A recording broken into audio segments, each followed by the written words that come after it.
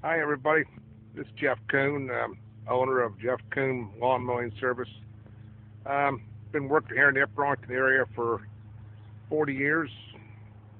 I mow a wide variety of yards, small yards, big yards, um, commercial buildings if need be.